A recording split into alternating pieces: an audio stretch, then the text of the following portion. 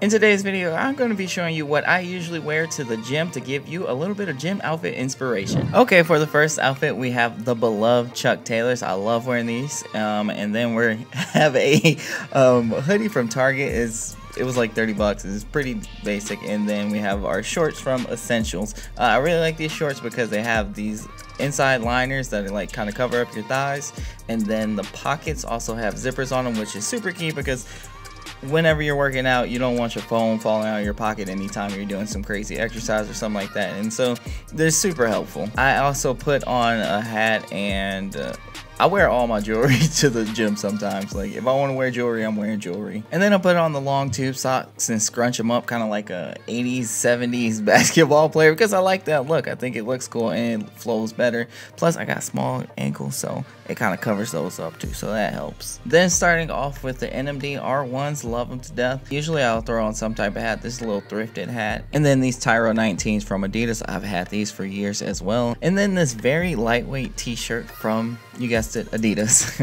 I feel like this is a great fit to actually run errands in too, but also it's great for like aerobics and you know a lot of movement, maybe HIIT workouts and stuff like that. So that's what I use it for. Okay, you see the tank top, so you know it's gonna be arms or something like that. Plus the Vans. Oh yeah, we're out here to lift heavy today. The beater band, beater bands, the beater bands, and with the gray, black, and white kind of fit all flowing together like that. I put on some long socks there, as you can see, because I don't think it looks right when you show your ankles with Vans. I don't know what it is, but I think Vans and long socks, or even the ankle socks, look pretty good still. Throw on the hat just to see what it was going to look like, and I actually think I like it better without the hat, but it's it's whatever you want to wear. It's your prerogative. Okay, and then starting off the next fit with the t-shirt from Uniqlo. It was like 10 bucks, super easy, super lightweight.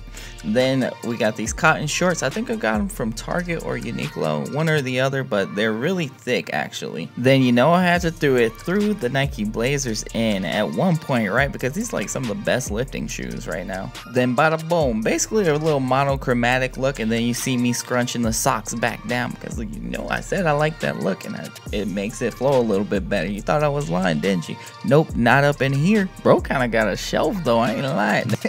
I'm just kidding, I'm just kidding.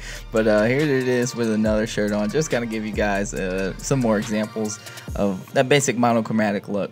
Hey yo, I really be putting this on the internet for people to see. Like, come, come on, man. All right, but look, all out basketball player. Then for this final look, we got the Essentials top. Pretty much the first outfit, but changing the hoodie out for a shirt, and it's just a monochromatic look that's super simple to pull off, really. Do you even legs? Hey, look, legs, these nuts. It's too early for this. I'm about to get demonetized at this rate. But here's the outfit, I guess, without the hat, if you don't have a hat to wear or just don't like wearing hats. It does kind of change the look a little bit, but it is what it is. You may have noticed that all I pretty much wear is gray, black, and white, and that's basically because it makes my life 10 times easier. If all the gym clothes that you buy match in some sort of way, then it's gonna give you more outfit options. I usually wear a hat on those days where I wanna focus a lot and just stay in the zone because it blocks eye contact with some of the people that I see regularly. So no eye contact, no combo pretty much. If you're nervous or uncomfortable in the gym, then wearing a hat is a good idea to hide your eyes as well. There's nothing wrong with that. Actually dedicate a set of clothes to the gym because you're gonna sweat in it, they're gonna get dirty, they might tear a lot depending on what types of workout you do. And if you're just throwing on everything in your closet, then you're gonna run through your wardrobe a lot faster. And you're gonna have a ton of laundry to do. The most popular inseam for shorts right now is a 5 inch inseam. That's the length that's gonna give you that little bit of thigh action that you can see your leg pumps with. If you're over 6 feet, then you're probably okay with getting a 6 or 7 inch seam and getting that same effect. Just like any other clothes, all brands don't fit the same, so be sure to watch reviews, read reviews, and do your research before you go and buy something. Or if you have the ability, go try something on. Don't be shy or self self-conscious about your body, just go in there and act like you own the place. Especially if you got that new set of clothes on, it's gonna be like, mm. And if anything, it's not about looking good for other people, it's about looking good for yourself. I hope this was helpful, and as always, guys, I will see you in the next one.